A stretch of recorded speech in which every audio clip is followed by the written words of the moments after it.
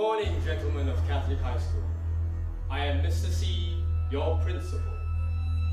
You are now at the crossroads of your life, coming into secondary one.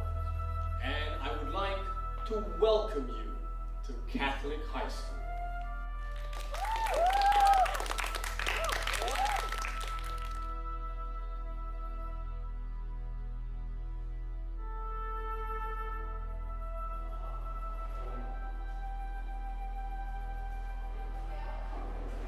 Ready. I'm ready for the first day of school. Sorry, I'm late. I don't want this guy like that one. They want you back back, man.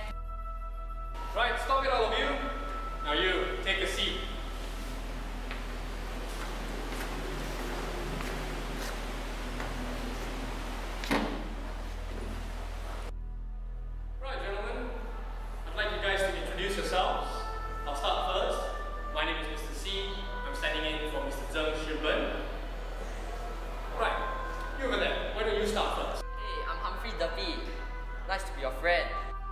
Who says you're my friend, nerd? Yeah, who said your friend, nerd? Hey, hey, I suddenly remember when I was young, my ama used to wear a skinny little pig.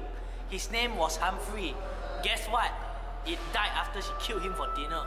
Hey, me too. Why? What a coincidence. It's rare to see people rear pigs nowadays.